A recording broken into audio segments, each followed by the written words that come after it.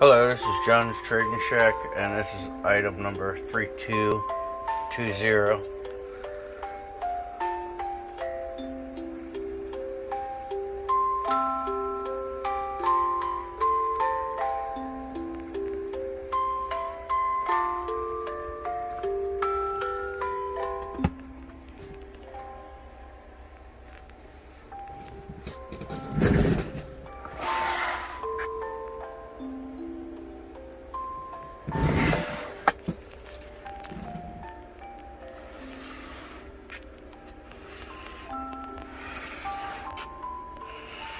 Thank you.